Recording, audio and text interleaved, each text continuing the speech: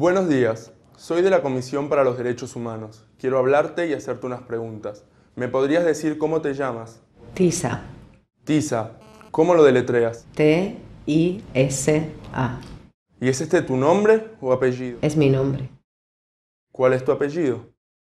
Molia. Molière. ¿Podrías hablar más alto, por favor? ¿Podrías hablar más alto? Molia. Ok, ¿cómo lo deletreas? M-O-L-I-A. ¿Y cuántos años tienes? 25. ¿Estás casada? Sí, y tengo un hijo. La pregunta no fue esa. La pregunta es si sí, estás casada. Sí, sí, y tengo un hijo. ¿Y podría usted ayudarme, por favor? Mire que perdí contacto con mi hijo. Llevo demasiado tiempo aquí y no puedo contactarlo.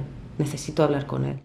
Creo que mm, quizás podríamos hablar al respecto, pero esta no es realmente la razón por la que Sí, estoy aquí. sí, pero ¿podría usted ayudarme? Como le mencioné, esta no es la razón por la que estoy aquí, pero podríamos hablar de esto luego. Así que dices que estás casada y ¿por qué te arrestaron? Bueno, me acusan de vender drogas. ¿Y tú vendes drogas? Sí, bueno, ellos lo dijeron. Mm, veo, y... ¿Y has sido torturada? ¿Cómo? ¿Qué quiere decir? No entiendo. ¿No comprendes qué significa tortura? No, no le entiendo. ¿Te han lastimado en algún momento? Pues me abofetearon. Mm, ¿Y algo más serio, más importante? Me abofetearon y, y eso es lo que ellos hacen aquí. Ese es su trabajo. Pero entonces estás bien. Sí. Perfecto, está bien. ¿Hay algo más de lo que quisieras hablar? Mm, No, bueno, ellos... Ok, está bien, muchas gracias, muchas gracias. A bad interview would be any interview that looks like an interrogation for the person deprived of liberty. So uh, this should be kept in mind in terms of sitting arrangements, being sitting close to the person but not in front of a table. Types of questions, you should not ask first the name and the reason of the deprivation of liberty, the body language, uh, and the general attitude of uh, this uh, interview. A good interview with a person deprived of a liberty would be an interview where you are able to establish a relation of trust with the person. Buenos días, ¿cómo estás? Bien. Mi nombre es Carlos López y soy de la Comisión Nacional para los Derechos Humanos. ¿Has escuchado de la Comisión Nacional para los Derechos Humanos? No. Es una organización que se ocupa de las personas que están detenidas, que están en prisión o que son detenidas por la policía. Y lo que hacemos básicamente es tratar de asegurar que las personas detenidas por la policía sean tratadas mejor.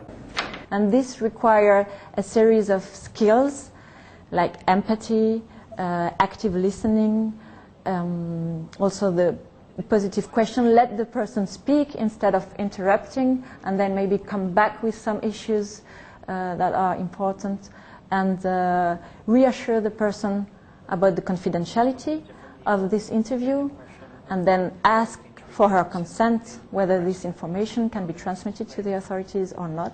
Me gustaría escuchar un poco de cómo has sido tratada desde que llegaste aquí y me gustaría hacer algunas preguntas. No tomará mucho tiempo, tal vez 5 o 10 minutos.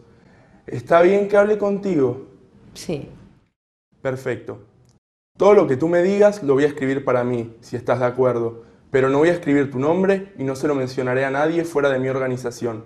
Así que nadie sabrá lo que tú me digas y esto será solamente para uso interno, para poder analizar lo que pasa en este lugar. Uh, and then maybe also discuss about the risks of reprisals about these, uh, these discussions. The location of the interview is an essential element in this building of the trust with a person deprived of liberty. So you should choose the location very carefully. Um, the monitoring team should avoid any location that looks like uh, administrative offices because uh, the monitoring team has to be perceived as independent and neutral. And the best way is probably to discuss with the person uh, where the location, where she feels confident to have such an interview in private.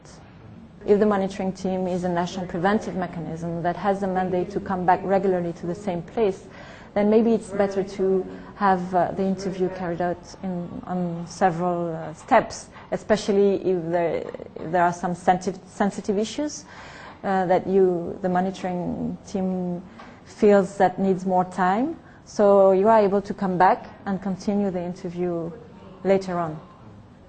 Questions should be framed and asked in an open and non-leading way, which means questions should not be answered by a yes or no answer, and uh, should be non-leading. This means that they should not contain the answer. For example, uh, a typical question that should be avoided is, have you been tortured? But uh, it should rather be asked, how have you been treated during your arrival at the place? Gracias por tomar el tiempo de hablar conmigo. Por el momento no tengo más preguntas, pero como mencioné al principio, todo lo que tú me has dicho es para mi uso y el uso de mis colegas, para que podamos analizar cómo las personas en general son tratadas en estos lugares.